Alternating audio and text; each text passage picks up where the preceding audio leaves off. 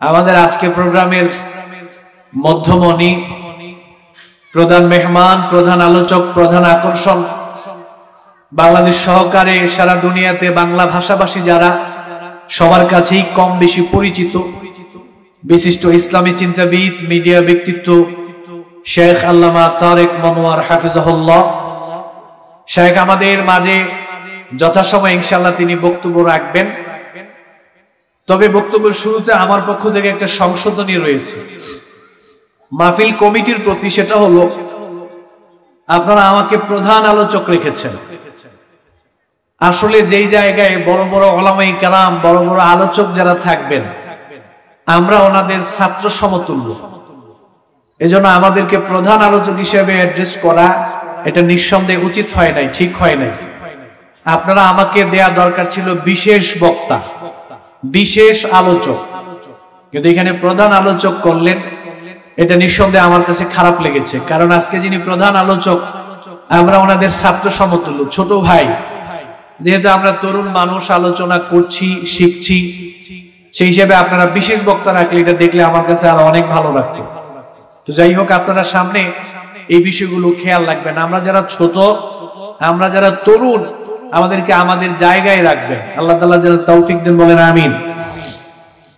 আমার সময়ের ভিতরে আমি দুইটা বিষয় নিয়ে আলোচনা করব। প্রথম বিষয় হলো, ইংরেজি মাসের এটা কোন মাস চলতেছে? ফেব্রুয়ারি মাস। আগামীকাল কয় তারিখ? চোদ্দই ফেব্রুয়ারি। এটা নিয়ে কিছু কথা বলা দরকার। কি বলেন যুবক ভাইয়েরা? এটা নিয়ে কিছু কথা বলা দরকার। কারণ নবী করিম সাল্লামের বক্তব্যের একটা ধারা ছিল, সমসাময়িক বিষয়গুলো নিয়ে মানুষের সামনে কথা বলা, সমসাময়িক বিষয়গুলো নিয়ে দিক নির্দেশনা দেয়া। এই জন্য আমরা ওই সন্ন্যাটাকে সামনে রেখে আগামীকাল যেহেতু চোদ্দই ফেব্রুয়ারি, এটা একটা বিশেষ দিন আপনাদের কাছে, বিশেষ করে শয়তানের কাছে। মোমেনদের কাছে না, ইমানদারদের কাছে নয়। যারা শয়তান, ওদের কাছে আগামী দিনটা একটা বিশেষ দিন হিসেবে ওনারা জানে থাকে। আগামীকাল চোদ্দই ফেব্রুয়ারি, এটা অনেকের কাছে তথাকথিত ভালোবাসা দিবস নামে পরিচিত, ঠিক কিনা ভালোবাসা দিবস নামে পরিচিত। আসলে কোরআন সন্না নিয়ে যারা পড়াশোনা করে বা ইসলাম সম্পর্কে ন্যূনতম জ্ঞানও যদি কারও থাকে, ওই মানুষটা কোনোদিন এই দিনটাকে ভালোবাসা দিবস হিসেবে ও চিন্তাই করতে পারে না, পালন করা তো দূরের কথা। উদযাপন করা তো দূরের কথা। ও চিন্তাই করতে পারে না যে বছরে একটা দিন এটা ভালোবাসা দিবস হতে পারে। এটা কল্পনাই করতে পারে না।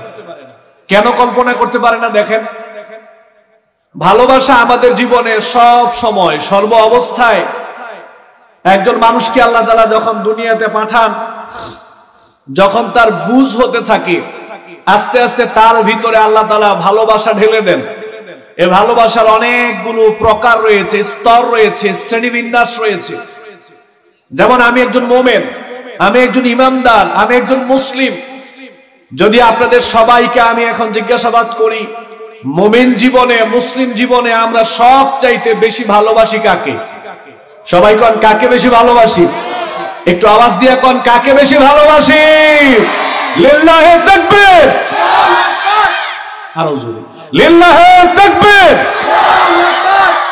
আমরা সব চাইতে বেশি ভালোবাসি আমাদের আল্লাহ সুবহানাহু আল্লাহকে ভালোবাসার জন্য কোনো দিবস লাগে না।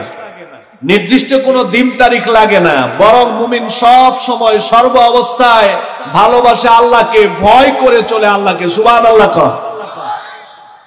এই জন্য তিরমিজির বর্ণনায় আসছে আল্লাহ নবী বলেন, ইত্তাকিল্লাহ হাইসুমাকুম যেই জায়গায় তোমরা থাকো না কেন, যেই অবস্থায় তোমরা থাকো না কেন, পৃথিবীর যে কোনো জায়গায় তোমরা থাকো না কেন, প্রত্যেকটা মুহূর্তেই তোমরা আল্লাহ তালাকে ভয় করে চলো। সুবান আল্লাহ কর। প্রত্যেকটা মুহূর্তে আল্লাহকে ভয় করে চলো, আল্লাহর প্রতি ভালোবাসা, প্রদর্শন করো। এটার জন্য কোনো সময় নাই, দিন তারিখ ঠিক নেই। বরং একেবারে মৃত্যুর আগ পর্যন্ত আল্লাহ তালাকে ভয় করে চলতে হবে, আল্লাহকে ভালোবাসতে হবে। আমরা আমাদের এই দুনিয়াবি যত কিছু রয়েছে, বিশেষ করে মানুষের ক্ষেত্রে, আমরা সব চাইতে বেশি ভালোবাসি মোহাম্মদুর রসুল্লাহ সাল্লাহ আলী সাল্লামকে কিন্তু যিনি আমাদের স্রষ্টা, যিনি আমাদের রব, আমি সব চাইতে বেশি ভালোবাসি আমি আমার রবকে, আমি আমার আল্লাহকে। ঠিক কিনা কম আল্লাহ বলছেন, যারা ঈমানদার তারা সব সময় আল্লাহর প্রতি তাদের ভালোবাসা সুদৃঢ় থাকে। তারা সবচাইতে বেশি ভালোবাসে আল্লাহ তাআলাকে। সুবহানাল্লাহ। আমরা সবচাইতে বেশি ভালোবাসি আমাদের আল্লাহ তাআলাকে। এরপরে আমরা সবচাইতে বেশি ভালোবাসি দুনিয়ার যত মানুষ পৃথিবীতে এসেছে, বর্তমানে আছে, কিয়ামত পর্যন্ত যত মানুষ পৃথিবীতে আসবে মানুষের ভিতর থেকে সবচাইতে বেশি ভালোবাসি আমরা মোহাম্মদুর রসুল্লাহ সাল্লাহ সেই বোখারিতে আসছে সেই মুসলিমে আসছে।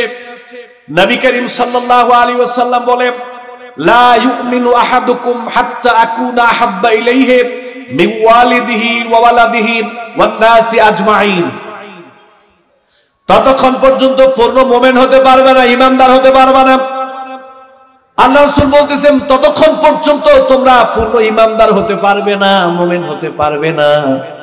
যেই পর্যন্ত না তোমরা দুনিয়ার সমস্ত মানুষ থেকে সবচাইতে বেশি ভালো আমাকে না বাসবা। তোমাদের বাবা মার চাইতে বেশি ভালোবাসতে হবে আমি নবীকে। তোমার স্ত্রীর চাইতে বেশি ভালোবাসতে হবে আমি নবীকে। তোমার স্বামীর চাইতে বেশি ভালোবাসতে হবে আমি নবীকে। তোমার সন্তানের চাইতে বেশি ভালোবাসতে হবে আমার নবীকে। মা বাবার চাইতে বেশি ভালোবাসতে হবে আমার নবীকে। তোমার নেতা থেকে বেশি ভালোবাসতে হবে আমি নবীকে। তোমার কর্মী থেকে বেশি ভালোবাসতে হবে আমি নবীকে। তোমার পীর সাহেব চাইতে বেশি ভালোবাসতে হবে আমি নবীকে। মুরিদের চাইতে বেশি ভালোবাসতে হবে আমি নবীকে। ইমাম খতিব দুনিয়াতে যত মানুষ রয়েছে আল্লাহর নবী বললেন, যতক্ষণ পর্যন্ত দুনিয়ার সমস্ত মানুষ থেকে আমি নবীকে বেশি ভালো না বাসবা, ততক্ষণ পর্যন্ত তোমরা মোমেন হতে পারবা না। সবচেয়ে বেশি ভালোবাসতে হবে মোহাম্মদুর রসুল্লাহ সাল্লাহ আলী সাল্লামকে এই জন্য আমরা আল্লাহ রসুলকে সবচেয়ে বেশি ভালোবাসি। সব সময় সর্ব অবস্থায় আমরা আল্লাহ রসুলের অনুসরণ করি, আল্লাহ রসুলের আনুগত্য করি, আল্লাহ রসুলের সন্ধ্যাকে আমরা ফলো করে চলি, ঠিক কিনা কর? আচ্ছা এরপরে সবচেয়ে বেশি ভালোবাসি আমরা আমাদের বাবা মাকে। বাবা মাকে ভালোবাসার জন্য কোনো দিন তারিখ নেই, বাবা মাকে ভালোবাসার জন্য কোনো বাৎসরিক টাইম নেই, বাবা মাকে ভালোবাসার জন্য কোনো মাসিক টাইম নেই, বরং বাবা মাকে জীবনের প্রত্যেকটা মুহূর্তে মৃত্যুর আগ পর্যন্ত বাবা মার প্রতি ইমানদারদের ভালোবাসা আছে না নাই কথা কোন আছে না নাই আল্লাহ রাব্বুল আলামিন বলেন وقضى ربك ألا تعبدوا إلا إياه وبالوالدين إحسانا এটা তোমাদের জন্য আমি আল্লাহ তাআলা নির্ধারণ করে দিলাম ফয়সালা করে দিলাম তোমরা একনিষ্ঠভাবে আমি আল্লাহ তাআলার ইবাদত করবে আমি আল্লাহ তাআলার গোলামি করবে আমি আল্লাহ তাআলার দাসত্ব করবে, আমি আল্লাহ তাআলার হক আদায় করবে। আমি আল্লাহ রাব্বুল আলামিনের হক আদায় করার পর পরে তোমরা যেই কাজটা করবা, ওইটা হলো বাবা মার সাথে সদাচরণ করবা। সুবহানাল্লাহ কর তাহলে আল্লাহর হকের পরেই আল্লাহ রাব্বুল আলামিন বাবা মার হকের কথা বলেছে বাবা মার প্রতি ভালোবাসা প্রদর্শনের কথা বলেছেন, বাবা মার প্রতি সম্মান প্রদর্শনের কথা বলেছেন। সুবহানাল্লাহ কর তাহলে বাবা মার প্রতি আমাদের ভালোবাসা আছে না নাই? এইটা কি বাৎসরিক কোনো ভালোবাসা না সর্ব অবস্থায় সব সময়ের ভালোবাসা? সব সময়ে ভালোবাসা। এই জন্য অনেক সময় দেখবেন, অমুসলিম যারা, ওরা বাবা দিবস পালন করে, ওরা মা দিবস পালন করে। বছরে একবার ওরা বাবা মার কাছে যায়, বাবা মার খেদমত করে, বাবা মাকে ভালো খাওয়ায়, বাবা মাকে গিফট করে বছরে একবার। আর আল্লাহ তালা বলতেছে, বছরে একবার না, মৃত্যুর আগ পর্যন্ত বাবা মার খেদমত করতে হবে। নির্দেশটা কার? চিল্লা এখন নির্দেশটা কার? আল্লাহ রাব্বুল আলামিন তাহলে আমরা সবচেয়ে বেশি ভালোবাসি বাবা মাকে। আচ্ছা। এবার স্বামীর প্রতি স্ত্রীর ভালোবাসা আছে না নাই? কথা কর আছে না নাই? আবার স্ত্রীর প্রতি স্বামীর ভালোবাসা আছে না নাই? তাহলে স্বামী স্ত্রীকে ভালোবাসে, স্ত্রী স্বামীকে ভালোবাসে। হুন্না লিবাসুল্লাকুম ওয়া আনতুম লিবাসুল্লাহুন্না স্ত্রী হলো স্বামীর জন্য পোশাকের নেই, আবার স্বামী হলো স্ত্রীর জন্য পোশাকের নেই। একে অপরের প্রতি ভালোবাসা আছে না নাই? কথা আছে না এই ভালোবাসা কি বছরে একবার না সব সময়? সব সময়।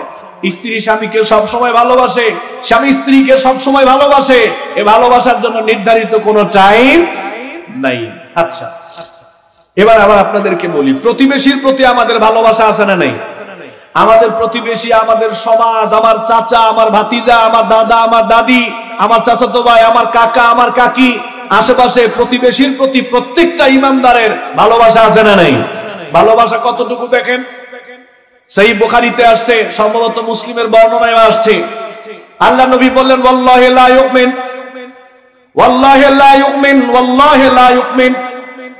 তিনবার আল্লাহর নবী কসম করে বললেন, আল্লাহর কসম, তোমরা ইমানদার নও। আল্লাহর কসম করে বলছো, ওই মানুষগুলো ইমানদার নয়। আল্লাহর কসম করে বলছি, ওই মানুষগুলো ইমানদার নয়। কোন মানুষগুলো ইমানদার নয় একটু বলেন। সাহাবে কারামের পক্ষ থেকে বলা হলো, ইয়া রাসূলুল্লাহ, তিনবার কসম করে বলেন, ওই মানুষগুলো ইমানদার নয়। কোন মানুষগুলো ইমানদার নয়, দয়া করে একটু বলেন। আল্লাহর নবী বললেন, আল্লাযী লা ইয়াকমানু জারুহু বাওয়াইকাহু যেই মানুষটা তার প্রতিবেশীকে কষ্ট দেয়, যেই ইমানদার তার প্রতিবেশীকে কষ্ট দেয়, যেই নারী তার প্রতিবেশীর মানুষগুলোকে কষ্ট দেয়, যেই পুরুষ তার প্রতিবেশীর মানুষগুলোকে কষ্ট দেয়। প্রতিবেশী তার থেকে খারাপ আচরণ পায়, প্রতিবেশী তার থেকে কষ্ট পায়, ও প্রতিবেশীর প্রতি সুন্দর আচরণ করে না, প্রতিবেশীর প্রতি ভালো আচরণ করে না, ভালোবাসা প্রদর্শন করে না। আল্লাহর নবী বললেন, আল্লাহর কসম, ওই মানুষগুলো মোমেন মানুষগুলো ইমানদার নয়। যারা প্রতিবেশীকে ভালোবাসে না, প্রতিবেশীর প্রতি যারা সম্মান প্রদর্শন করে না, প্রতিবেশীর হক আদায় করে না, যারা প্রতিবেশীর ক্ষতি করতে চায়, প্রতিবেশীকে যারা কষ্ট দেয়, আল্লাহ রসুল বলছে, ওরা মোমেন হতে পারে তাহলে প্রতিবেশীর প্রতি আমাদের ভালোবাসা আছে না নাই? আছে। এভাবে করে খতিব সাহেব মুসল্লিদেরকে ভালোবাসেন, ইমাম মুসল্লিদেরকে ভালোবাসেন, মুসল্লিরা ইমাম খতিবকে ভালোবাসেন সাহেব ভালোবাসেন সাহেবদেরকে ভালোবাসেন, নেতারা কর্মীদেরকে ভালোবাসেন, কর্মীরা নেতাদেরকে ভালোবাসেন, সন্তানরা বাবা ভালোবাসেন বাবা মা সন্তানকে ভালোবাসেন। আমাদের জীবন চলার পথে, দুনিয়াতে সবার প্রতি সবার ভালোবাসা আছে না নাই? কথা কোন, আছে না নাই? সবার প্রতি সবার ভালোবাসা আছে। এইটার জন্য নির্ধারিত কোনো সময় ঠিক করতে হয় না, বাৎসরিক সময় ঠিক করতে হয় না, মাসিক সময় ঠিক করতে হয় না, সাপ্তাহিক কোনো সময় নির্ধারণ করতে হয় না। বরং মুমিন জীবনের প্রত্যেকটা মুহূর্তেই ভালোবাসা আছে না নাই? কন আছে না নাই? এখন যাদের জীবনে ভালোবাসা নাই, ওরা চোদ্দই ফেব্রুয়ারিকে তথাকথিত বিশ্ব ভালোবাসা দিবস নামে আখ্যায়িত করে আজকে গোটা দুনিয়াতে এটা মুসলিম, অমুসলিম যারা আছে, কম বেশি, বিশেষ করে মুসলিমদের উপর এটা চাপিয়ে দেওয়া হয়েছে। আজকে কিছু মূর্খ মুসলিম আছি আমরা, যারা ইসলাম সম্পর্কে আমাদের কনসেপ্ট ক্লিয়ার না, ইসলাম সম্পর্কে আমাদের ধারণা ক্লিয়ার না, যাদের চেতনা ভালো না, যাদের দর্শন ভালো না, যাদের আকিদা ভালো না, যাদের ইমান ভালো না, যাদের বিশ্বাসের জায়গাতে ভালো না, যাদের আদর্শের জায়গায় সমস্যা আছে, দিন সম্পর্কে যারা উদাসীন, দিন সম্পর্কে যারা গাফেল পরকালীন জীবন সম্পর্কে যারা উদাসীন এই রকম কিছু মানুষ আছে, ওরা অমুসলিমদের দেখা দেখি এই তথাকথিত ভালোবাসা দিবস পালন করে, ঠিক কিনা কম অথচ এটা কোনো মোমেনদের কাজ হতে পারে না, কোনো ইমামদারের কাজ হতে পারে না, কোনো মুসলিমদের কাজ হতে পারে না। আচ্ছা দেখেন, একটু আমার দিকে তাকান। আল্লাহর প্রতি যে ভালোবাসা আমাদের নবীর প্রতি যে ভালোবাসা বাবা মার প্রতি যে ভালোবাসা, স্বামীর প্রতি যে ভালোবাসা, স্ত্রীর প্রতি যে ভালোবাসা, সন্তানের প্রতি যে ভালোবাসা, প্রতিবেশীর প্রতি যে ভালোবাসা, দুনিয়ার মানুষের উপরে যেই ভালোবাসা, এই ভালোবাসার চুল পরিমাণ চোদ্দই ফেব্রুয়ারিতে পালন করা হয় না। বরং তথাকথিত ভালোবাসা দিবস নাম দিয়া এই দিনে একটা জেনা ব্যবিচার আছে না নাই? কথা কোন আছে না নাই? এজন্য এটাকে ভালোবাসা দিবস না বলে বলা যায়, এটা জেনা ব্যবিচারের দিবস। জেনা ব্যবিচারের দিবস। আজকে আমাদের যুবক, যুবতী, আমাদের ছেলে মেয়েগুলোকে এই দিনকে কেন্দ্র করে জেনা ব্যবিচার, গান বাসনা আড্ডাবাজি আছে না নাই? কথা কোন, আছে না নাই? অতএব এই দিবসের সাথে ইসলামের কোন সম্পৃক্ততা নাই। দেখেন, আমার যুবক ভাইয়েরা এখানে যারা আছেন অন্তত পক্ষে আল্লাহর কাছে এতটুকু তো বলতে পারব যে আপনাদেরকে আমরা এই ব্যাপারে সচেতন করেছিলাম। বাহিরের মানুষ আগামীকাল চোদ্দই ফেব্রুয়ারি পালন করবে কিনা আমি জানি না। তবে যারা আমার বক্তব্য এখন শুনতেছেন বা শুনবেন, আপনাদের প্রতি অনুরোধ রেখে বলি, আল্লাহ তালাকে ভয় করেন। আল্লাহ তালাকে ভয় করেন, এরকম দিবসের কোন স্থান ইসলামে নাই। এই দিবসের সাথে ইসলাম তথা মুসলিমদের কোনো সম্পৃক্ততা নাই। আল্লাহ রসুল নবী করিম সাল্লাম এই সমস্ত দিবসকে অনুমোদন করে। আল্লাহকে ভয় করতে হবে, আমার যুবক ভাইয়েরা, আমার যুবতী বোনেরা, আমার মায়েরা, আমার ভাইয়েরা, আমার চাচারা, হাতে ধরে অনুরোধ করে বলি, এই একটা দিন কত গুণায়ের কাজ হবে, আপনি আল্লাহকে ভয় করে এই দিনটাকে বর্জন করেন, এই দিনের ধারে কাছেও যাবেন না। কেন যাবেন না, শোনেন। মোসনাদে আহমদে আসছে, হাদিসটা সহি। নবী করিম সাল্লাল্লাহু আলাইহি ওয়াসাল্লাম বলছেন, মান তাসাব্বাহা ফাহুয়া মিনহুম। আমি আপনাদেরকে জিজ্ঞাসা করতে চাই, তথাকথিত ভালোবাসা দিবস এটা মুসলিমদের ঐতিহ্য না অমুসলিমদের কালচার কর এটা মুসলিমদের না অমুসলিমদের? একটু আওয়াজ দেন না, কার এটা? এটা অমুসলিমদের কৃষ্টি কালচার তাদের সংস্কৃতি। আল্লাহ রসুল বলছে যারা অমুসলিমদের সংস্কৃতি তাদের চিন্তায়, তাদের চেতনায়, তাদের দর্শনে, তাদের বিশ্বাসে, তাদের আদর্শে, তাদের কর্মকাণ্ডে কেউ যদি অমুসলিমদের সংস্কৃতি লালন পালন করে, ওইটা পালন করে, ওইটা প্রতিষ্ঠার জন্য কাজ করে, আল্লাহ রসুল বলছে, ও আর মুসলিম থাকতে পারে না, ও অমুসলিমদের অন্তর্ভুক্ত হয়ে যায়। তার মানে আগামীকাল চোদ্দই ফেব্রুয়ারি, এই চোদ্দই ফেব্রুয়ারি দিবস যারা বুঝে, শুনে সজ্ঞানে কোন মুসলিম যদি এই দিবসকে পালন করে, উদযাপন করে, আল্লাহর কসম করে, আল্লাহ রসুলের হাদিসকে সামনে এনে বললাম, ওই মানুষগুলো মুসলিম থাকতে পারবে না, ওরা মুসলিমদের কাতারে চলে যাবে। আমার যুবক ভাইয়েরা, আমি বারবার বলছি, হাতে পায়ে ধরে বারবার বারবার অনুরোধ করে বলছি, এই চোদ্দই ফেব্রুয়ারি এটা পালন করবেন না, বুঝানোর পরেও যদি পালন করেন আল্লাহ রসুল বলছে মান তাসাব্বাহাবে কাউমিন ফাহুয়া মিনহুম। যারা এই অপসংস্কৃতি পালন করবে, ও আমার উম্মত থাকতে পারবে না।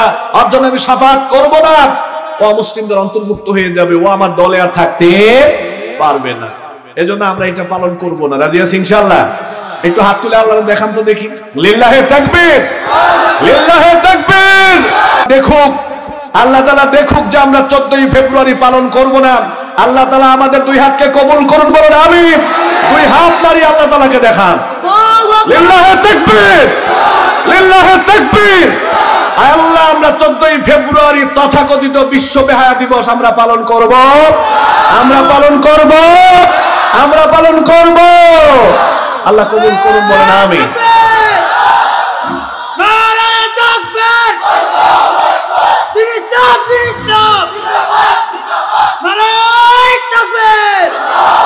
মাশাআল্লাহ, আল্লাহ তাআলা কবুল করুন, আমিন।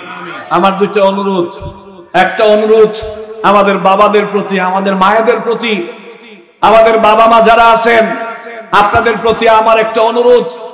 আগামীকাল চোদ্দই ফেব্রুয়ারিকে কেন্দ্র করে আপনার ছেলে মেয়েকে একটু নজরে রাখেন। আজকে রাত্রে একটু বুঝান। আগামীকাল যাতে কলেজে না যায়, বিশ্ববিদ্যালয়ে না যায় মার্কেটে যেতে দিবেন না, কেনাকাটা করতে দিবেন না। আগামীকাল আপনার বাড়িতে একশো চুয়াল্লিশ দ্বারা জারি করবেন না আপনার স্ত্রী বের হতে পারবে, না আপনার স্বামী বের হতে পারবে, না আপনার মেয়ে বের হতে পারবে, না আপনার ছেলে বের হতে পারবে। আগামীকাল প্রত্যেকটা পরিবারে একশো চুয়াল্লিশ দ্বারা জারি করতে হবে। রাজি আছেন ইনশাল্লাহ খবরদার, দরকার হলে কালকে বাড়িতে ভালো আয়োজন করেন।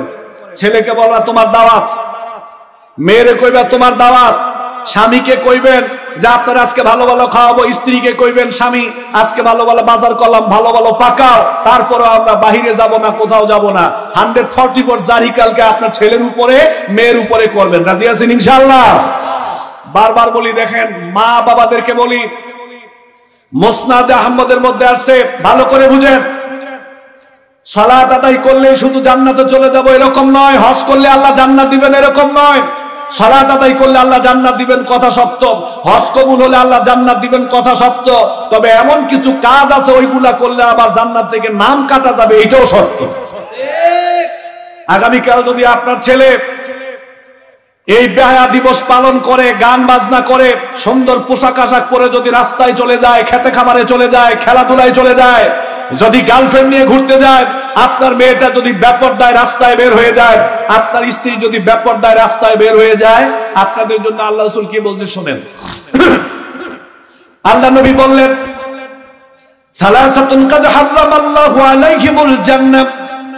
তিন শ্রেণির মানুষের জন্য আল্লাহ রাব্বুল আলামিন জান্নাত হারাম করে দিবেন।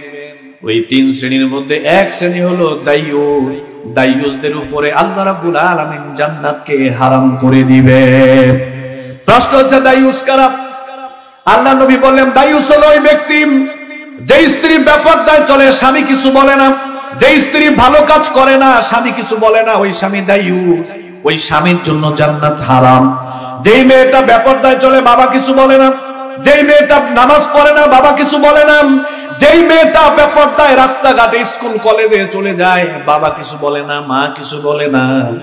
ওই বাবা মা দাইয়ুস ওই বাবা মার জন্য জান্নাত হারাম।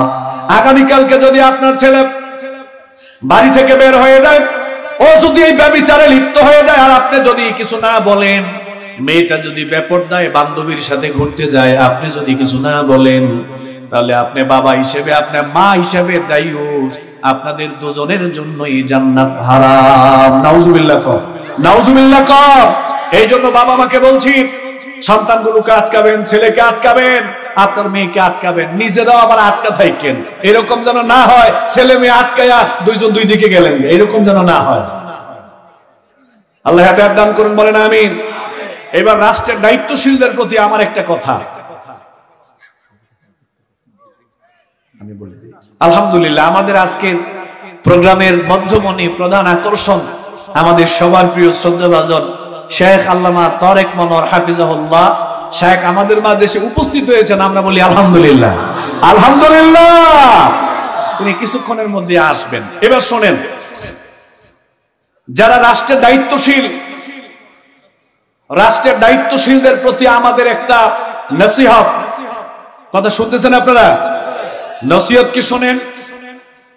রাষ্ট্রের যারা দায়িত্বশীল, একেবারে উপরের মহল থেকে শুরু করে ইউনিয়ন পর্যায় পর্যন্ত যত দায়িত্বশীল রয়েছেন, এই ব্যাপারে আপনাদেরও যে দায়িত্ব আছে, আল্লাহ তালা আপনাদেরকে এ ব্যাপারে জিজ্ঞাসাবাদ করবেন।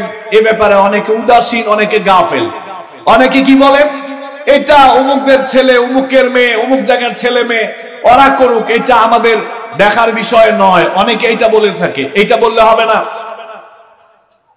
আল্লাহ রাব্বুল আলামিন সূরা হজ্জের মধ্যে বলছেন الذين إن مكناهم في الأرض أقاموا الصلاة وآتوا الزكاة وأمروا بالمعروف ونهوا عن المنكر আল্লাহ রাব্বুল আলামিন বললেন জমিনে যাদেরকে আমি কর্তৃত্ব দান করি ক্ষমতা দান করি জমিনে যাদেরকে আমি কর্তৃত্ব দান করি, ক্ষমতা দান করি, ওরা যদি ইমানদার হয়, ওরা যদি মোমেন হয়, ওরা ক্ষমতা পাওয়ার পরে প্রথমেই তারা চারটা কাজের বাস্তবায়ন করবে। কয়টা কাজ?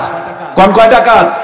এক নম্বর কাজ হলো, আপনি মেম্বার হয়েছেন, আপনি চেয়ারম্যান হয়েছেন, আপনি পৌরসভার চেয়ারম্যান হয়েছেন, উপজেলার চেয়ারম্যান হয়েছেন, আপনি ওসি, আপনি এসপি, আপনি ডিসি, আপনি এমপি, মন্ত্রী, আপনি প্রধানমন্ত্রী পর্যন্ত। আপনি রাষ্ট্রের দায়িত্বশীল, আপনি যদি মুসলিম হন, আপনি যদি নামাজ পড়েন আর পরকালে বিশ্বাস করেন, সুরা হজ্জের মধ্যে আল্লাহ বলছে, আপনি ক্ষমতায় বসার পরেই আপনার চারটা কাজ। এক নম্বর কাজ হলো সালাদ প্রতিষ্ঠা করতে হবে। গোটা সমাজের মধ্যে রাষ্ট্রের ভিতরে সালাদ প্রতিষ্ঠা করতে হবে, এটা আপনার দায়িত্ব। দুই নম্বর কাজ হলো রাষ্ট্রীয়ভাবে জাকাত আদায় করতে হবে। একশো পার্সেন্ট জাকাত আদায় নিশ্চিত করতে হবে আপনার। তৃতীয় কাজ হলো মানুষকে সৎ কাজের আদেশ করবেন। তৃতীয় কাজ হলো মানুষকে কল্যাণের দিকে ডাকবেন, মানুষকে ভালোর দিকে ডাকবেন, মানুষকে সৎ কাজের আদেশ করবেন। আর চার নাম্বার কাজ হলো যেখানেই অন্যায় দেখবেন, অবশ্যই অন্যায়ের প্রতিবাদ করা লাগবে। কার নির্দেশ? কোন কার নির্দেশ? আল্লাহ নির্দেশ। যাদেরকে আমি ক্ষমতা দান করি সিংহাসন দান করি পাওয়ার দান করি যাদেরকে ওরা যদি মুসলমান হয়, ওরা যদি ইমানদার হয়, ওরা যদি নামাজি হয়, ওরা যদি আল্লাহ বিশ্বাস করে, ওরা যদি রসুলের অনুসরণ করে, ওরা যদি পরকালে মুক্তি চায়, অবশ্যই চারটা কাজ প্রথমে করতে হবে। এক সলাৎ প্রতিষ্ঠা করবে। দুই জাকাত আদায় করবেন তিন, সৎ কাজের আদেশ করবে। চার, অন্যায় যেখানে দেখবে, অন্যায়ের প্রতিবাদ করবে। সুবান আল্লাহ কর। সুবান আল্লাহ কর। রাষ্ট্রীয়ভাবে গোটা রাষ্ট্রের ভিতরে এই তথাকথিত বিশ্ব বেহায়া দিবস পালিত হয়। এরপরে আর অন্যান্য অনেক অন্যায় কাজ হয়, কিন্তু আমরা দায়িত্বশীলরা অনেক সময় দেখেও না দেখার ভান করি। এই অন্যায় কাজ চোখের সামনে হবে, আর ক্ষমতা থাকার পরেও আমি প্রতিবাদ করব না। অন্যায় কাজ আমাদের সামনে হবে, ক্ষমতা থাকার পরেও আমি প্রতিবাদ করব না। কথা শোনেন, শুনতেছেন আপনারা কথা? কথা শুনতেছেন তো না? আচ্ছা। অনেকে বলে ও তো আমাদের ছেলে না এটা আব্দুর রহমান সাহেবের ছেলে আমার ছেলে না। ওরা এটা আমাদের দলের না। অমুক জায়গায় গান হচ্ছে অমুক জায়গায় জুয়া খেলা হচ্ছে অমুক জায়গায় নেশার আড্ডাখানা হচ্ছে অমুক জায়গায় ঘুষ চলতেছে সমাজে অনেক জায়গায় জানা ব্যবচার চলতেছে। আমরা কি বলি? এটা আমাদের বিষয় না। এটা আমাদের মহল্লার ব্যাপার না। এটা আমাদের এটা অন্য দলের, অন্য মহল্লার, অন্যদের ছেলে। এটা আমাদের বিষয় না। চল আমরা চলে যাই। এরকম আছে না নাই? কথা কোন আছে না নাই? অন্যায় দেখলে, ওরে আল্লাহ সুবাহ আল্লাহ ইমান গিয়া সোজা ঘরের ভিতরে চলে যায়। এমন ইমান এবার দেখেন একটা হাদিস শোনাই, সোজা আমার দিকে তাকান। কেউ কথা বলবেন না? আশেপাশে কেউ কথা বলবেন না? সোজা আমার দিকে তাকান। অত্যন্ত গুরুত্বপূর্ণ একটা হাদিস শোনাবো এখন। একেবারে আমার দিকে। মুসলিম শরীফের মধ্যে আসছে আল্লাহ রসুল বলেন, মাসালুল কাইমি ফি হুদুদিল্লাহি ওয়াল ওয়াকি ফিহা কামাসালি কওমিন ইস্তামু আলা সাফিনাতিন ফাসারা বা'দুহুম আলাহা ওয়া বা'দুম আসফালাহা ওয়া কানা আল্লাযীনা ফি আসফালিহা ইযা ইস্তাকাউ মিনাল মাই মাররু আলা মান ফাওকাহুম। فقالوا لو أنا خرقنا في نصيبنا خرقا ولم نؤذي من فوقنا فإن تركوهم وما أردوا هلكوا جميعا وإن أخذوا على أيديهم نجوا ونجوا جميعا মুসলিম শরীফের মধ্যে আসছে সম্ভবত তিরমিজির বর্ণনায় আসছে নবী করিম সাল্লাল্লাহু আলাইহি ওয়াসাল্লাম বলে আমরা যারা অন্যায় দেখার পরেও প্রতিবাদ করি না, চুপ করে থাকি। আমরা যারা বলি, এটা আমাদের সমাজের বিষয় না, এটা আমাদের মহল্লার বিষয় নয়, এটা আমাদের দলের বিষয় নয়, ও আমার ছেলে না, অন্যের ছেলে। এ কথা বলে যারা অন্যায়কে পাশ কাটিয়ে চলে যায় অন্যায়ের প্রতিবাদ করা থেকে আজকে যারা দূরে আসি ওদেরকে উদ্দেশ্য করে বলছি, শোনেন। আল্লাহ রসুল বললেন, দুই তলা বিশিষ্ট একটা ট্রলার জাহাজ সমুদ্রে চলতেছে। এখন কিছু মানুষ ট্রলারে জাহাজে আছে কিছু মানুষ চলে যাবে দুই তলায়, কিছু মানুষ নিচ তলায়। আল্লাহ রসুল বললেন যে, ধরো তাদের মধ্যে লটারি দেওয়া হলো। দুই তলায় চলে যাবে কিছু মানুষ, নিচ তলায় থাকবে কিছু মানুষ। কারা দুই তলায় যাবে আর কারা নিচ তলায় থাকবে, এটা লটারির মাধ্যমে ফাইনাল করা হলো। লটারি দেওয়ার পরে দুই তলার মানুষ দুই তলায় চলে গেল নিচতলার মানুষ নিচতলায় থাকল। এখন নিচতলায় কোনো পানির ব্যবস্থা নাই, টিউবওয়েলের ব্যবস্থা নাই নিচতলার মানুষগুলো দুই তলা থেকে গিয়ে পানি আনতে হয়। দুই তলায় ধরেন টিউবওয়েল। আল্লাহ রসুল বুঝাচ্ছেন উদাহরণ দিয়ে। তো দুই তলায় নিচতলার মানুষ গিয়ে যখন পানি আনতে যায়, দুই তলার মানুষের এটা ভালো লাগে না। দুই তলার মানুষ খালি নাক ছিটকায়। এক পর্যায়ে দুই তলার মানুষ বলল, তোমরা আমাদের নিচতলা থেকে দুই তলা থেকে পানি নিতে পারবা না, তোমরা নিচতলার মানুষ।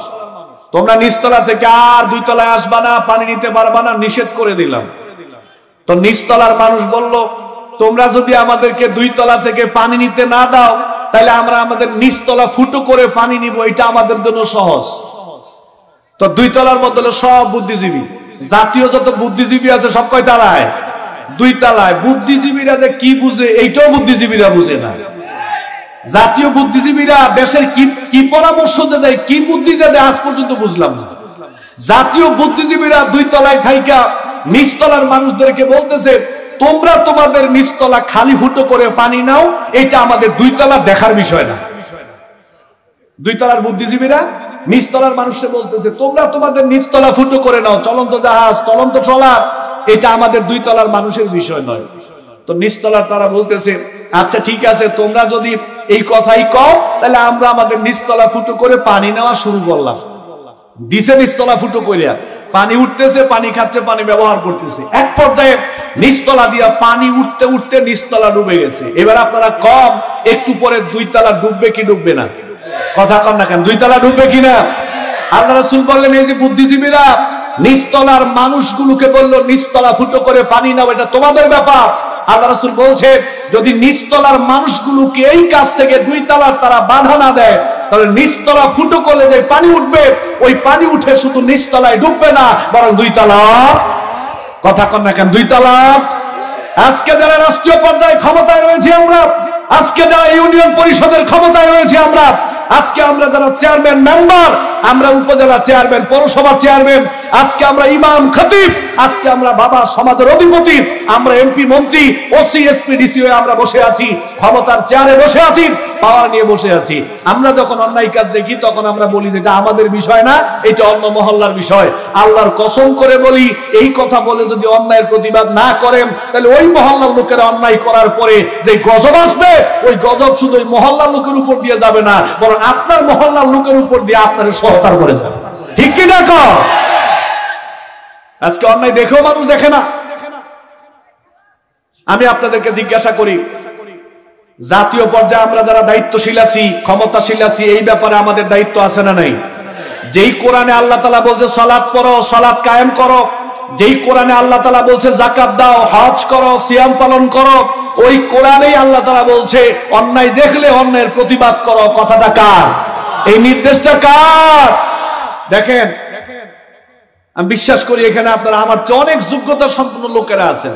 আমার ওস্তাদ সমতুল্য অনেকে বসে আছেন। তারপরও কথা বলতে হচ্ছে বেয়াদমি নিয়েন না। আমার যুবক ভাইয়েরা, শুধু বিবেকটা একটু খুলে দেওয়ার চেষ্টা করছি। শুধু বিবেককে একটু প্রশ্ন করেন, আমি একটা কথা বলি। ওয়াজ করে। ওয়াজ কম হচ্ছে?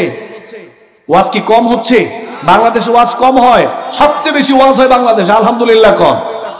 কত খুতবা, কত ওয়াজ, কত নসিহত তাবলিগের ভাইরা কাজ করতেছে, পীর সাহেবরা কাজ করতেছে, তারপরে বিভিন্ন ইসলামিক দলের লোকেরা কাজ করতেছে।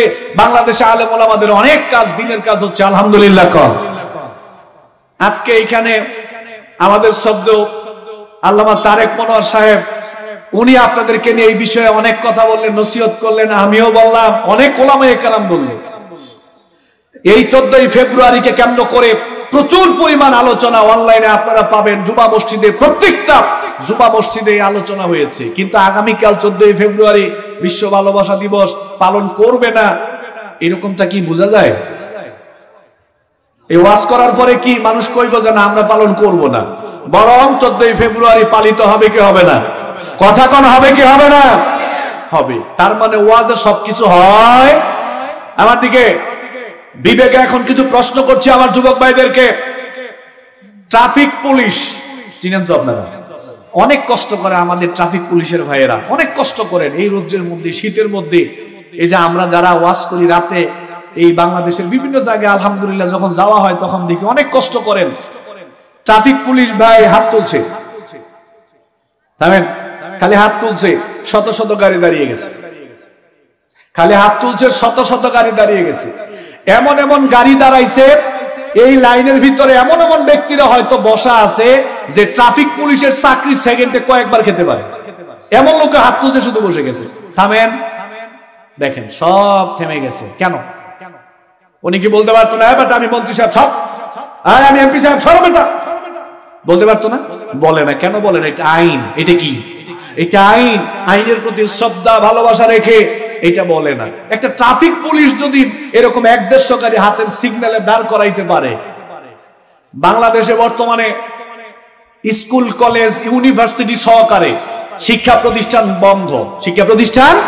মাদ্রাসা সহ সকল প্রতিষ্ঠান বন্ধ। কেন বন্ধ?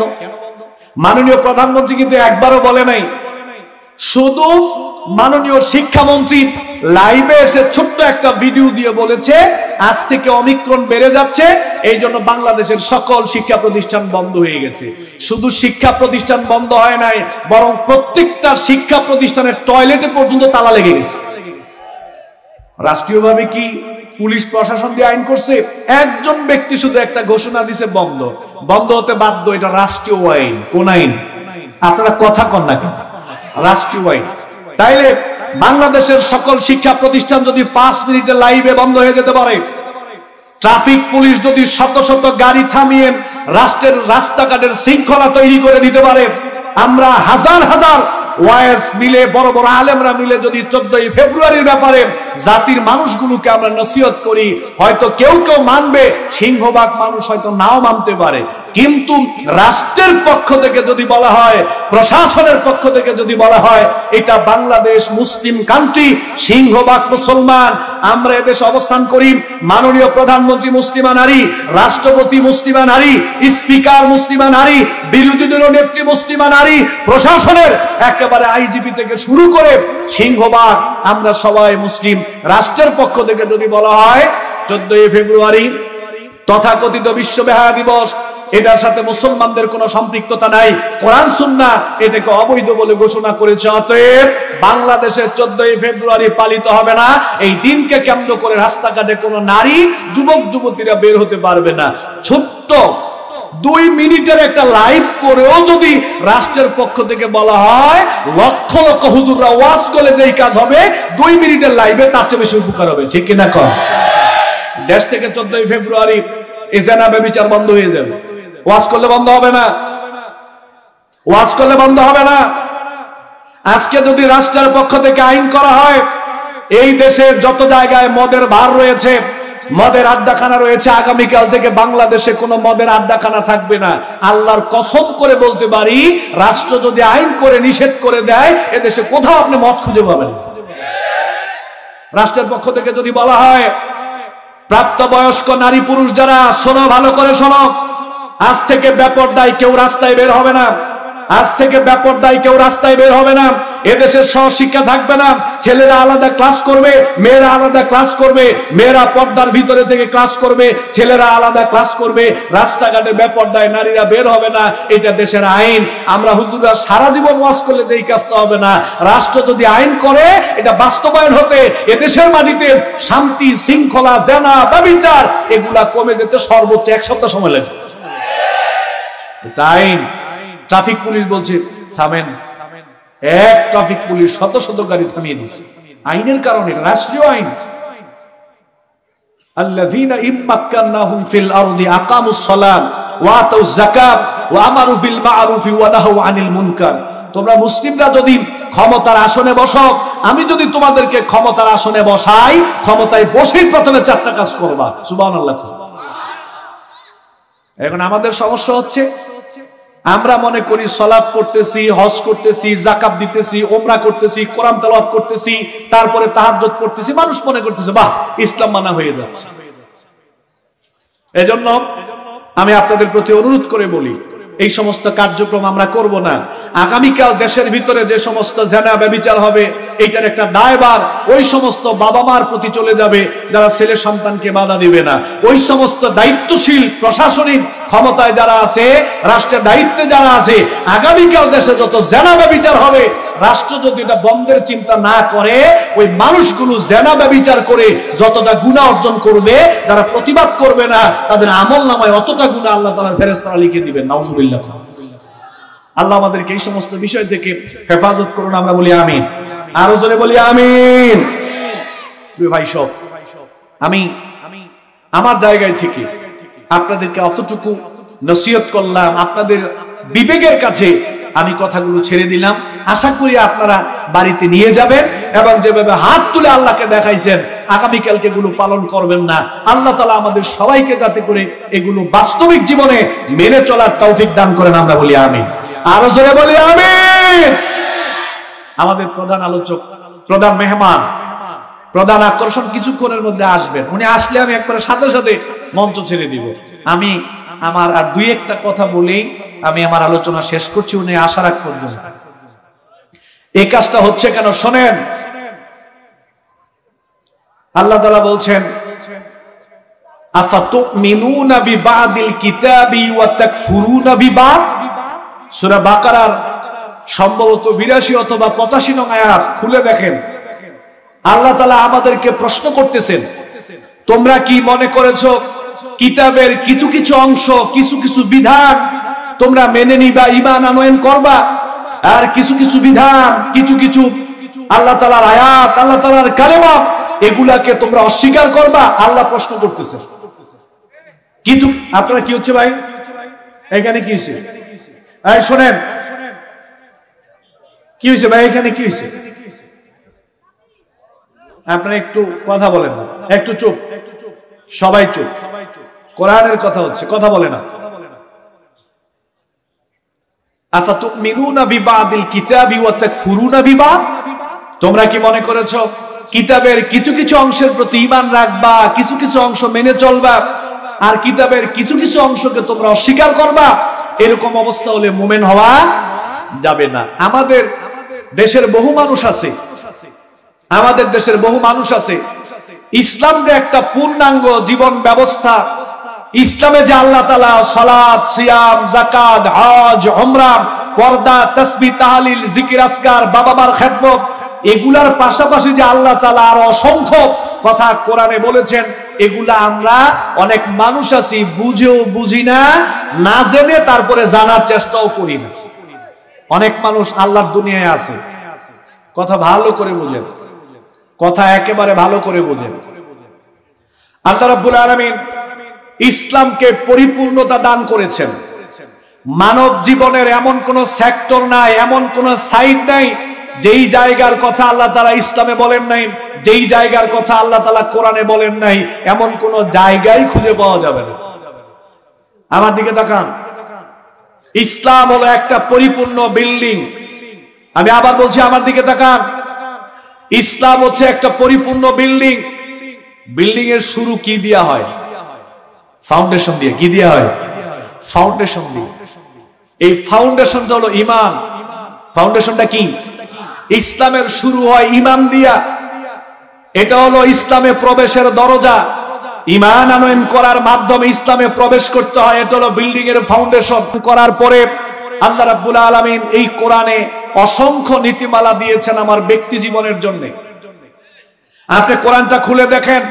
নবী করিম সাল্লামের হাদিসগুলো আপনি পড়াশোনা করেন, ঘাটাঘাটি করেন। আল্লাহ রাব্বুল আলামিন প্রথমেই আমার ব্যক্তি জীবনের কথা বলেছেন। অসংখ্য বিধিবিধান আল্লাহ তালা ব্যক্তি জীবনের জন্য বলেছেন। এটা করব, এটা করবা না, এটা হালাল, এটা হারাম, এরকম নির্দেশনা আছে না নাই? কোন কোরআনে আছে না নাই? শুরু হবে ইমান দিয়া। শুরু হবে কি দিয়া? ইমান দিয়া। আমার ইমানে আমার বিশ্বাসে, আমার আকিদায়, আমার চিন্তায়, আমার চেতনায়, আমার দর্শনে, আমার আদর্শে শিরিক থাকতে পারবে না, কুফুরি থাকতে পারবে না, নেফাকি থাকতে পারবে না। প্রথমে ফাউন্ডেশন সুন্দর করতে হবে, মজবুত করতে হবে মানে বিশ্বাসের জায়গাটাকে মজবুত করতে হবে। এরপরে ব্যক্তি জীবনের জন্য আল্লাহ তালা কোরআনে যে নীতিমালা দিয়েছেন, নির্দেশনা দিয়েছেন, ওইগুলো ব্যক্তি জীবনে মেনে চলতে হবে। আচ্ছা ব্যক্তি জীবনের পরে আল্লাহ রব্বুল আলমিন আমার পারিবারিক জীবনের জন্য কথা বলেছেন। আল্লাহ তারা বলছে, তোমার পরিবারকে এইভাবে গঠন করো। পরিবারে এই জিনিসগুলো প্রতিষ্ঠিত করো। পরিবারের মানুষগুলো এই কথাগুলো বলো। পারিবারিক জীবনে আল্লাহ রাব্বুল আলামিন পারিবারিক জীবনের জন্য অসংখ্য নীতিমালা, নির্দেশনা দিয়েছেন। পরিবারে ইসলাম আছে না নাই? কোন পরিবারে ইসলাম আছে না নাই? পারিবারিক জীবনের কথা কোরআনে আছে না নাই? আছে। আচ্ছা পরিবারে ইসলাম প্রতিষ্ঠিত হলো। এবার যান আপনার সামাজিক জীবনে। সামাজিক জীবনের জন্য কোরআনে নীতিমালা আছে না নাই? সামাজিক জীবনের জন্য আল্লাহ কোরআনে কথা বলেছেন কি বলেন নাই? সামাজিক জীবনের কথা আল্লাহ তালা বলেছেন। সামাজিক জীবনে আল্লাহর কোরআনের এই বিধানগুলো মেনে চলো। আল্লাহর কোরআনের এই বিধানগুলো সামাজিক জীবনে প্রতিষ্ঠিত করো। সামাজিক জীবনের জন্য আল্লাহ তালা নীতিমালা দিলেন। এইবার সামাজিক জীবনে আল্লাহর ইসলামটা প্রতিষ্ঠিত করার আল্লাহর কোরআনের বিধান প্রতিষ্ঠিত আল্লাহর কোরআনের বিধান সামাজিক জীবনে প্রতিষ্ঠিত করার দায়িত্ব কাদের? ফেরেস্তাদের না আমাদের? কথা কন না কেন? ফেরেস্তাদের না আমাদের? ফেরেস্তারা এসে এগুলো কি প্রতিষ্ঠিত করে দিয়ে যাবে? তাহলে সামাজিক জীবনের জন্য ইসলামে বিধিবিধান আছে, এটা আপনার বিশ্বাসে ঢুকাতে হবে। এরপরে সামাজিক জীবনে আল্লাহর কোরআনের বিধিবিধানগুলোকে প্রতিষ্ঠিত করার জন্য আপনাকে আমাকে চেষ্টা করতে হবে, এটা আপনার আমার দায়িত্ব। আচ্ছা এবার সমাজ থেকে রাষ্ট্রে যান। রাষ্ট্রে যান। রাষ্ট্রীয়ভাবে আল্লাহর কোরআন, বিধিবিধান, রাষ্ট্রীয়ভাবেও মানুষ ইসলাম মেনে চলবে, এ ব্যাপারে আল্লাহ তালা কোরআনে নির্দেশনা দিয়েছেন কি দেন নাই? আপনারা কথা কন না কেন? আছে না নাই? আছে না নাই? আছে। আমাদের দেশের মানুষ, সমস্যাটা এই জায়গায়। যখনই রাষ্ট্র নিয়ে কথা বলি, কোরআন থেকে কথা বলি, ইসলামের সাথে রাষ্ট্রটাকে এক করে দেই তখনই অনেকে বলে যে, হুজুর মনে হয় কোন দল করে? এই যে হুজুর শুরু করছে রাজনীতি, নাউজুবিল্লাহ কর। আল্লাহ তালার কসম, আমি আমার রবের কসম করে বলছি, রাজনৈতিক কোন দলের হয়ে আমি কথা বলছি না। আল্লাহর কোরআনকে সামনে রেখে কথা বলছি রাষ্ট্র জীবনের জন্য আল্লাহ তালা কোরআনে যে নীতিমালা দিয়েছেন, আপনার সামনে এই কথাগুলো বলার পরে আপনি যদি রাজনীতি বলে ওই কথাগুলো ফেলে দেন, আপনি এখনও মোমেন্ট হতে পারেন নাই, আপনার ইমান নাই। আফাতুমিনুনা বিবাদিল কিতাবি ওয়া তাকফুরুনা বিবাদ? আল্লাহ প্রশ্ন করতেছি, তুমি কি মনে করছ কিতাবের কিছু কিছু অংশের প্রতি ইমান রাখবা? যেগুলো সহজ, যেগুলো মানলে কোনো সমস্যা নাই, যেগুলো তোমার ভালো লাগবে, ওইগুলোর প্রতি ইমান রাখবা? আর আর কিছু বিধান আছে, ওইগুলো অস্বীকার করবা, এরকম তাহলে মোমেন হওয়া যাবে না। এবার আপনারা বলেন তো, রাষ্ট্রীয়ভাবে আল্লাহর কোরআন মেনে চলা রাষ্ট্রীয়ভাবে বর্তমান সময়ে বাংলাদেশে সুদ আছে না নাই? সোদের লেনদেন আছে না নাই? এখন রাষ্ট্রীয়ভাবে সোদের লেনদেন বন্ধ করার জন্য আল্লাহ রাব্বুল আলামিন কোরআনে নির্দেশনা দিয়েছেন। এটা আমি পারব না, এটা রাষ্ট্রের দায়িত্বশীলদের করতে হবে। আমি ব্যক্তিগতভাবে বিরত থাকতে পারব, কিন্তু রাষ্ট্রীয়ভাবে এটা বন্ধ করবে যারা রাষ্ট্রের দায়িত্বশীল। এদেশে ঘুষের লেনদেন আছে না নাই? ঘুষ ছাড়া কাজ খুব কমই হয়। ঘুষ ছাড়া কাজ খুব কমই হয়। রাষ্ট্রীয়ভাবে রাষ্ট্রীয়ভাবে আপনার দায়িত্ব নিয়ে আইন প্রণয়ন করে ঘুষ বন্ধ করতে হবে, এটা আমি পারব না। এদেশে সিনেমা হল আছে না নাই? কথা কোন, আছে না নাই? সিনেমা হল বন্ধ, হুজুরা ওয়াজ করলে হবে না। যিনি রাষ্ট্রের দায়িত্বশীল, ওনাকে মনে করতে হবে আমি মুসলিম। এদেশের মাটিতে যদি সিনেমা হল থাকে আর আমি দায়িত্বশীল হওয়ার পরে কিছু না বলি, ওই গুণা আমার আমল নামায় উঠবে। এই অনুভূতি আপনার ভিতরে জাগতে হবে। রাষ্ট্র যদি সিদ্ধান্ত নেয়, সিনেমা হল বন্ধ, সিনেমা হল বন্ধ হয়ে যাবে। সিদ্ধান্ত নিবে রাষ্ট্র। সিদ্ধান্ত কে নিবে? রাষ্ট্র নিবে। এই বাংলাদেশে জেনা করার বিভিন্ন পার্কিং ব্যবস্থা আছে না নাই? কোন আছে না নাই? এগুলো ওয়াশ করলে বন্ধ হবে না, রাষ্ট্র বন্ধ করতে হবে। এদেশে ব্যবিচার ব্যাপকদায় চলা আছে না নাই? এগুলো আমরা ওয়াশ করলে বন্ধ হবে না, রাষ্ট্রের দায়িত্ব নিতে হবে। আমরা তো বলবোই। আমরা তো নসিহত করবই। চুরি করলে হাত কেটে ফেলা, এটা আমরা করতে পারব না। রাষ্ট্র করতে হবে বিধান আল্লাহর। জেনা করলে ব্যত্রাঘাত করতে হবে, দেশান্তর করতে হবে, পাথর মেরে তাকে মেরে ফেলতে হবে। এটা আমি করলে হবে না, এটা রাষ্ট্র করতে হবে, এটা আল্লাহ তালার বিধান।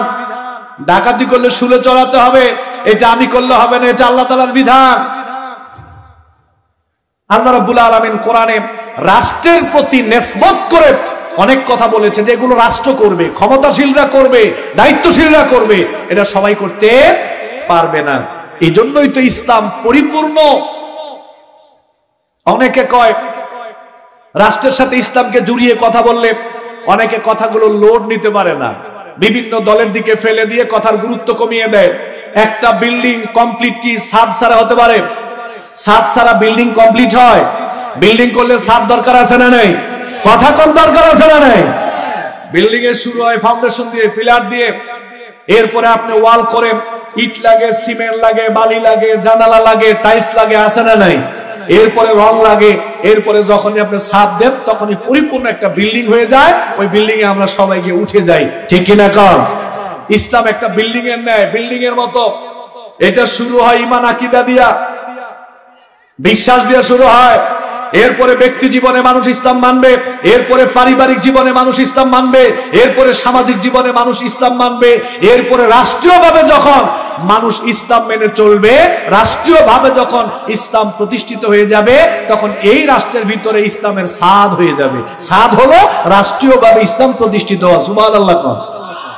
আবার আমারে কোনো দলে ফালাইয়েন না, যে উনি মনে নিশ্চিত কোন দলের দালালি করতেছে, এইটা কইেন না। আমি বাংলাদেশে যত দল আছে, কম বেশি সবাইরে ভালোবাসি। আমাদের তারেক মনোর ভাই দেখেন, ওনার দিলটা আল্লাহ অনেক বড় করে দিছে। উনি নাই বিদায় কথা বলতেছি, দিলটা অনেক বড়। আমরা যারা ছোট আছি, দেখেন অনলাইনে আমি আর কারও জবান থেকে এরকম কথা পাই না। ছোটদেরকে উনি অনেক উৎসাহিত করেন। এই যে মাহফিল করতে গেলে দেখবেন, যত বক্তা আলোচনা করে, সবার নাম নিয়ে দোয়া করিয়া মানে সবার জন্য তিনি মন থেকে দোয়া করেন। মনটা উনি অনেক বড়।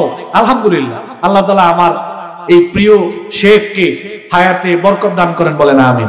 আল্লাহ ওনার খেদমতগুলো কবুল করে নেন বলেন আমিন। প্রিয় ভাইরা আমার, প্রিয় ভাইরা আমার, এটা হলো ও, তারেক মনোয়ার সাহেবের আমাদের প্রিয় শব্দ সাহেকের ভাইয়ের আলোচনা, অনেক শুনছি। তিনি আলোচনা করতে গিয়ে দেখা যায় সবার প্রতি তিনি ভালোবাসা প্রদর্শন করেন। কে জামাত ইসলাম করতেছে, কে আলে হাদিস, কে হানাফি, কে তাবলি কে সুন্নি? আমরা এটা আমাদের শব্দ শেখ সৈয়দ কামাল উদ্দিন আবদুল্লাহ জাফরি হুজুর। হুজুরের কাছ থেকে এটা শিখেছি। হুজুর সবার প্রতি দরদ রেখে কথা বলেন। বিশ্বাস করেন, আল্লাহর কসম করে বলছি। কাউকে ছোট করার জন্য কথা বলি নাই। আপনি আওয়ামী লীগ করেন, বিএনপি করেন, জাতীয় পার্টি করেন, যে কোনো দল করেন। আহলে হাদিস, হানাফি, তাবলিগ, জামাত ইসলাম চরমনাই সুন্নি, আওয়ামী লীগ, বিএনপি জাতীয় পার্টি, আমরা যারা নিজেদেরকে মুসলিম বলে দাবি করি, এখানে আমাদের সবার জন্য এটা সবক ইসলাম পরিপূর্ণ। ইসলাম পরিপূর্ণ। এই ইসলাম, আপনি এমন কোন দিক পাইবেন না যে আল্লাহ তালা ইসলামে এই ইসলামের ভিতরে কথা কয় নাই। ব্যক্তি, পরিবার, সমাজ, রাষ্ট্র আমার চাল চলন, উঠা বসা, কথা, বার্তা, লেন দেন, চাকরি, বাকরি, বিবাহ সাদী, খাওয়া, দাওয়া টয়লেট তারপরে অর্থনীতি, সমাজনীতি, রাজনীতি, বিচার নীতি শিক্ষানীতি রাষ্ট্রীয় নীতি, এমন কোন সেক্টর নাই যে কোরআনে আপনি পাইবেন না। এই বিষয়ে আল্লাহ তালা কথা বলেন নাই, এরকমটা পাবেন না। সুবান আল্লাহ আমার দিকে দেখেন আমাদের দেশে অনেক সময় অনেকে বলে যে সব জায়গায় ইসলামের দরকার নাই। নাউজুবিল্লাহ কন আমরা সব জায়গায় ইসলাম মানি না বা মানবো না। এরকম মূর্খতা বশত অনেকে কথা বলে। এই জন্য আমি সব জায়গায় একটা উদাহরণ দিই। আপনারা কথা শুনতেছেন তো? একটু আমার দিকে তাকান। ধরেন, পৃথিবীর সবচেয়ে বড় ধনী হলো একজন মুসলমান। ধরেন, উনি টয়লেটে যাবে। তো ওনার হাতে একটা দামি আইফোন, ল্যাপটপ আছে, দামি ঘড়ি আছে, সুন্দর পোশাক পরা, দামি দামি পোশাক। উনি টয়লেটে যাবে। কোথায় যাবে? টয়লেটে যাবে। তো টয়লেটে যাওয়ার সময় আইফোন রাখলেন, ঘড়ি রাখলেন, আইপ্যাড রাখলেন, ল্যাপটপ রাখলেন, দামি দামি পোশাক খুলে রাখলেন, শুধু লঙ্গিটা পরে তিনি টয়লেটে ঢুকলেন। আল্লাহর কোরআন বলতেছে, আল্লাহর ইসলাম বলতেছে, একজন মুসলমান টয়লেটে যাওয়ার সময় দুনিয়ার সমস্ত কিছু রেখে সে টয়লেটে যেতে পারে, কিন্তু ইসলামকে রেখে ও টয়লেটেও যেতে পারবে না সুবাহ আল্লাহ এখন হয়তো অনেকে কইতে পারেন, হুজুর শেষমেশ ইসলাম নামে টয়লেটে ঢুকাইলেন। হ্যাঁ। আল্লাহ ঢুকাইছে, আমার কিছু করার নাই। আল্লাহ রাসুল ঢুকাইছে, আমার কিছু করার নাই। মা ফাররাতনা ফিল কিতাবি মিন শাই। আপনি ইসলামে এমন কোনো কিছু পাইবেন না যেটা আল্লাহ তাআলা বলেন নাই। সুবহানাল্লাহ কও ইসলাম পরিপূর্ণ। আর লিকুল্লি সেই ইসলাম পরিপূর্ণ। আমরা যখন টয়লেটে ঢুকি, কোন পা দিয়ে ঢুকি? কন্যা, কোন পা? বাম পা দিয়ে ঢুকি। ঢুকার সময় দোয়া আছে না নাই? আল্লাহুম্মা ইন্নী আউযু বিকা মিনাল খুবুসি ওয়াল খাবাইস। টয়লেটে ঢুকলেন। কথা বলা যাবে না, চুপ করে বসে থাকতে হয়। চুপ করে বসে থাকতে হয়। টয়লেট থেকে বের হওয়ার সময় কোন পা দিয়ে বের হন? ডান পা দিয়ে। দোয়া আছে না নাই? আলহামদুলিল্লাহ, হিল্লাযী আযহাবা আন্নিল আযা ওয়া আফানি গফরানাক। অথবা শুধু গফরানাক। দেখেন, টয়লেটে ঢোকার সময় বাম পা দিয়ে ঢুকতে হয় এটা ইসলাম। টয়লেটে ঢোকার সময় দোয়া পরে ঢুকতে হয় এটা ইসলাম। টয়লেটে ঢুকে চুপ করে বসে থাকতে হয়, এটা ইসলাম। টয়লেট থেকে বের হওয়ার সময় ডান পা দিয়ে বের হতে হয়, এটা ইসলাম। টয়লেট থেকে বের হওয়ার সময় দোয়া পরে বের হতে হয়, এটা ইসলাম। পৃথিবীর সবচেয়ে নগণ্য, নিকৃষ্ট একটা জায়গা হলো টয়লেট। টয়লেটেও যদি কোনো মুসলমান যায়, আসা যাওয়া করে, ন্যূনতম ইসলামের পাঁচটা নিয়ম তাকে মেনে চলতে হয় সুবাহ আল্লাহ টয়লেটে গেলে যদি ইসলামের পাঁচটা নিয়ম মেনে চলতে আমরা বাধ্য হই, পৃথিবীর সবচেয়ে নিকৃষ্ট জায়গা, আপনি কোন পৃথিবীর আর কোন জায়গা থেকে আপনি ইসলামকে বাদ দিতে চান? কম প্রশ্ন দিলাম বিবেকের কাছে। টয়লেটে গেলেও যদি আল্লাহর ইসলাম মানতে হয়, পাঁচটা নিয়ম, ন্যূনতম পাঁচটা নিয়ম মানতে হয়, বলেন বাংলাদেশের আর কোন জায়গা থেকে আপনি ইসলামকে বাদ দিতে চান? কন? দোকানে গেলেন, গিয়ে বললেন যে, আব্দুর রহমান চাচা, আমার এক কাপ চা দেন। আমাদের যিনি প্রধান আলোচক, আজকে প্রোগ্রামের প্রধান মেহমান, আপনারা ওনাকে নিয়ে আসেন। লোকজন বসে আছে, উনি আসলে আমি ছেড়ে দিব, আমার পেটের ভিতরে যা ছিল মোটামুটি শেষ। কারণ আমার যখন সময়ের কথা কইছে, চল্লিশ পঁয়তাল্লিশ মিনিট, তখন আলোচনা শর্ট করে ফেলছি। এই জন্য আমার পেটের ভিতরে যা ছিল অলরেডি শেষ, যাই যাই অবস্থা এই জন্য প্রধান মেহমানকে নিয়ে আসেন। আমার দিকে তাকান। সবাই তাকান। গেলেন চায়ের দোকানে। গিয়ে বললেন, আব্দুর রহমান চাচা, একটা চা দেন। দিছে এক কাপ চা। এক কাপ চা খাইবেন, কোন হাতে? ডান হাতে খাইবেন, কোন হাতে? ডান হাতে খাইবেন। দাঁড়িয়ে খাইবেন না বসে খাইবেন? বসে খাইবেন। খাওয়ার শুরুতে বিসমিল্লা আছে না নাই? এরপরে কয় ডোকে খাইবেন? তিন ডোকে ন্যূনতম তিন ডোকে আমরা এটা খাব। খাওয়ার শেষে আলহামদুলিল্লাহ আছে না নাই? কথা কোন আছে না নাই? এক কাপ চা, এক গ্লাস পানি খাইতে গেলে ডান হাতে খেতে হয় এটা ইসলাম। বসে খেতে হয় এটা ইসলাম। বিসমিল্লা বলে খাবার শুরু করতে হয় এটা ইসলাম। এরপরে আপনাকে তিন ঢুকে খেতে হয় এটা ইসলাম। খাওয়ার শেষে আলহামদুলিল্লাহ বলতে হয় এটা ইসলাম। এক কাপ চা খাইতে গেলে, এক গ্লাস পানি খাইতে গেলে ন্যূনতম ইসলামের পাঁচটা নিয়ম মানতে হয়। এবার আপনি কম দেশের আর কোন জায়গা থেকে আপনি ইসলামকে বাদ দিতে চান? যারা এখানে আছেন, আপনাদের বিবেকের কাছে প্রশ্ন দিলাম যে যে কোনো দল করেন না কেন, আমার আসলে না। যেই কোরআনে আল্লাহ তালা চা খেলে, যেই কোরআনে আল্লাহ তালা পানি খেতে গেলে পানি খাওয়ার নিয়মটা পর্যন্ত বলে দিয়েছে। টয়লেটে কীভাবে যাবে আসবে, এই নিয়মটা পর্যন্ত আল্লাহ তালা কোরআনে বলে দিয়েছে। ওই আল্লাহ তালা মনে হয় বিচার ব্যবস্থার কথা কোরআনে কয় নাই নাকি? শিক্ষা ব্যবস্থার কথা কয় নাই? রাজনীতির কথা কোরআনে কয় নাই? অর্থনীতির কথা আল্লাহ কোরআনে কয় নাই? রাষ্ট্রীয় নীতির কথা আল্লাহ কোরআনে কয় নাই নাকি? বলছে কিনা বলেন? চিল্লা এখন বলছে কিনা? যদি অন্তরে বিশ্বাস থাকে হ্যাঁ আল্লাহ তালা কোরআনে বলছে, ইসলাম পরিপূর্ণ জীবন ব্যবস্থা, তাইলে ইমান ঠিক আছে। আর যদি কন, নামাজ সুজা করেন, ঠিকই আছে, দাড়ি ঠিক আছে, যদি এই কথা কন, সব জায়গায় ইসলামের দরকার নাই, সব জায়গায় আমরা ইসলাম মানতে পারব না তাহলে নামাজ সুজা পড়ার পরেও আপনি কাফের জাহান নামে চলে যেতে হবে। নাউজুবিল্লাহ। খবরদার, সাবধান। বলেন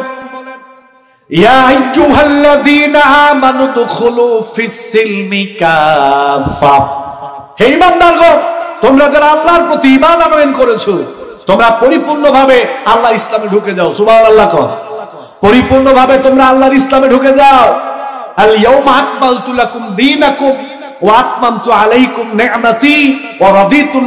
ইসলামা আল্লাহ বলছেন, নবী করিম সাল্লাম বিদায় হজ্জের ভাষণে সাহাবে কেরামকে একত্রিত করে যে ঘোষণা দিলেন, আল্লাহ রাব্বুল আলামিন আজ আমার মাধ্যমে তোমাদের দিনকে পরিপূর্ণ ঘোষণা করেছেন। সুবহানাল্লাহ আজ তোমাদের জন্য আল্লাহ তাআলা দিনকে পরিপূর্ণ ঘোষণা করেছে ইসলামকে তোমাদের জীবন ব্যবস্থা, দিন হিসেবে, ধর্ম হিসেবে আল্লাহ তাআলা মনোনীত করেছেন, পছন্দ করেছেন। ইসলামি দীনান ইসলাম বাদ দিয়া, এই জীবন ব্যবস্থা বাদ দিয়া মানব রচিত কোন ধর্ম মানব রচিত কোন দিনকে যদি তোমরা পালন করো, আল্লাহ এটা তোমাদের কাছ থেকে গ্রহণ করবে না। বরং কেন ইসলাম বাদ দিয়া মানব রচিত আইন তোমরা ফলো করলাম মানব রচিত আইন দিয়া জীবনটা কেন চালাইলা, অন্য ধর্ম কেন তোমরা পালন করলা জাহান নামে যাওয়া ছাড়া কোনো উপায় খবরদার খবরদার, খুব সূক্ষ্মভাবে খুব সূক্ষ্মভাবে অমুসলিমরা আজকে আমাদের ছোট ছোট শিশুদের অন্তরে শিরিক ঢুকিয়ে দিচ্ছেন। খুব সূক্ষ্মভাবে। আমাদের দেশে একটা স্লোগান আছে, ধর্ম যার যার উৎসব সভা ধর্ম যার যার উৎসব সবার একটা স্লোগান আছে। খুব সূক্ষ্মভাবে আমাদের ছোট ছোট ছেলে মেয়েদের ভিতরে শিরিক ঢুকিয়ে দেওয়া হচ্ছে। অন্য ধর্মের প্রতি ভালোবাসা সৃষ্টি করে দেওয়া হচ্ছে। অন্য ধর্ম পালন করার প্রতি উৎসাহিত করা হচ্ছে। নাউজুবিল্লাহ কর। ধর্ম যার যার উৎসব সবার হতে পারে না। ধর্ম যার যার উৎসব সবার হতে পারে না। এটা শিরকি স্লোগান, এটা শয়তান তৈরি করেছে। এটা কোনো মানুষের স্লোগান হতে পারে না। আল্লাহ রাব্বুল আলামিন কোরআনুল কারিমে পরিষ্কার ভাবে জানিয়ে দিয়েছেন, ধর্ম যার যার উৎসব তার তার। ধর্ম যার যার উৎসবটা তার তার। বিশ্বাস করেন তো আপনারা? ধর্ম যার যার উৎসব সবার, এটা বিশ্বাস করেন কারা কারা হাত তোলেন? ওরে আল্লাহ সুবান আল্লাহ ওরে আল্লাহ। ও তো সব দিকে ওই লাইনের লোক। ও বুঝেন নাই আপনারা? ধর্ম যার যার, হাত তুলছে কেন জানেন? হাত তোলার কারণ হলো বর্তমান সময়ে এদেশের মানুষের ভিতরে এটা এমন ভাবে গেতে গেছে, ধর্ম যার যার উৎসব সবার এটা সবাই মনে করে। এই জন্য হাত তুলে ফেলছে আন্তাজে তুলে নেই তাই না তুলছে। ধর্ম যার যার উৎসব সবার নয়। আমি উচ্চ আওয়াজে বলছি, ধর্ম যার যার উৎসব সবার নয়। ধর্ম যার যার উৎসব তার তার। আমাদের ধর্ম আমাদের জন্য, আমাদের উৎসব আমাদের জন্য। অন্য ভাইদের ধর্ম তাদের জন্য, উৎসব তাদের জন্য আমাদের কোনো নিষেধ নাই। তবে আমরা আমাদের ধর্ম পালন করব, কেউ বাধা দিতে পারবে? অন্যরাও অন্য ধর্ম পালন করলে আমরা বাধা দিতে পারব না। ধর্ম যার যার উৎসব সবার, এটা শয়তানও বিশ্বাস করবে না। অনলাইনে একটা ভিডিও দেখলাম, এক বেচারা আরেকজনের ক্ষেতের ধান গিয়ে সমানে কাটতেছে। আপনারা দেখেছেন অনেকে। ঘটনা কি? মাশাল্লাহ আমাদের আজকের প্রোগ্রামের সম্মানিত প্রধান মেহমান, আমাদের প্যান্ডেলের দিকে এগিয়ে যাচ্ছেন আলহামদুলিল্লাহ। আল্লাহ তালা সবাই বসেন সবাই বসেন সবাই বসেন। একটা তাকবির দেন, লিল্লাহ তাকবীর! লিল্লাহ তাকবীর! আল্লামা তারেক মনোর সাহেবের আগমন! আল্লামা তারেক মনোর সাহেবের আগমন! প্রধান মেহমানের আগমন!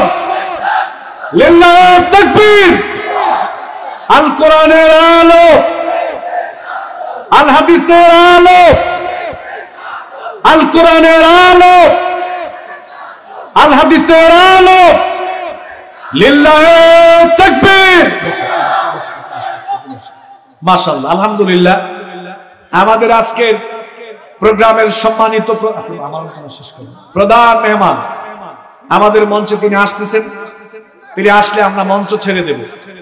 আলহামদুলিল্লাহ। সবাই শোনেন, আমরা কেউ কথা বলব না। আমরা কেউ কথা বলব না, শোনেন। প্রধান মেহমান, আসলে আমরা মঞ্চ ছেড়ে দিব। কেউ কথা বলব না, আমরা সবাই বসেন। সবাই বসেন। বসেন বসেন। ক্যামেরাম্যান ভাইরা বসবে। ওনারা বসবে বসে বসবে বসবে। বলতেছি, বসেন বসেন। বসেন, ক্যামেরা নামাবে, বসেন বসেন।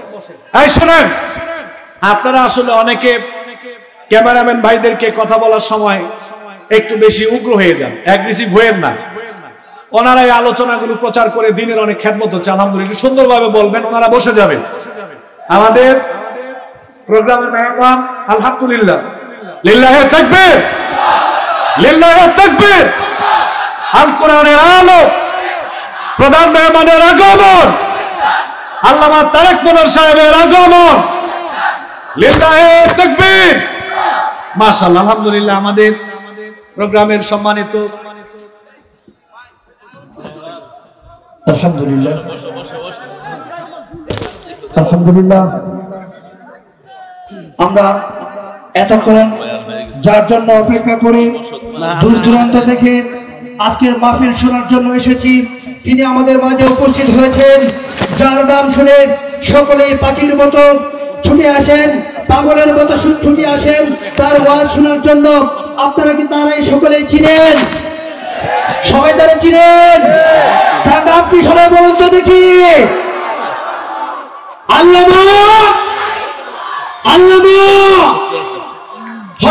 আমাদের মাঝে উপস্থিত হয়েছেন। আল্লাহ তাআলা হজরতকে হায়াতে তৈবা দান করুক সকলে বলেন আমি মোহতারাম হাজিরিন যারা আজকে খাওয়া দাওয়া করছ তো? বুঝছ না? থ্যাংক ইউ আমাদের সাহেব সিফাতুল্লাহ সাহেব আম্মা। তারেক মনোহর সাহেবকে একটি বই উপহার দিবেন। সাহেবকে বই উপহার দেওয়ার জন্য আমি বিনীতভাবে আহ্বান করছি। সবাই বলে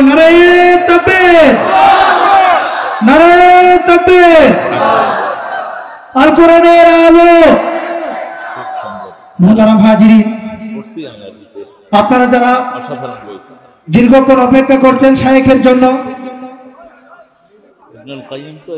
যারা আজকে মাসের পরে মাস, দিনের পরে দিন, দিনকে দিন বানিয়ে নাই দিনকে তারা কষ্ট করে, রাতকে দিন বাড়িয়ে পরিশ্রম করে যারা আজকে এই মাহফিলের আয়োজন করেছেন, আমি তাদের সকলকেই ধন্যবাদ জানাতে চাই।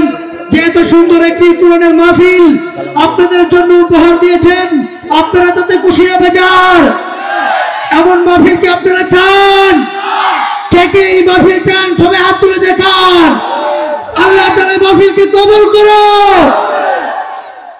প্রিয় উপস্থিতি, যাদের অক্লান্ত পরিশ্রমের বিনিময়ে আজকে এই মাহফিল গঠিত হচ্ছে, আমি তাদের সকলকেই বিনয়ীভাবে অনুরোধ করব, তারা হজরতকে ফুল দিয়ে সকলেই বরণ করে নিবে। আজকের মাহফিলের যারা পরিশ্রম করে, এ পর্যন্ত এই মাহফিলকে এগিয়ে এনেছেন, তাদের সকলকে মঞ্চে আসার জন্য সবিনয় অনুরোধ জ্ঞাপন করছি হজরতকে ফুল দিয়ে তারা বরণ করে নেবে।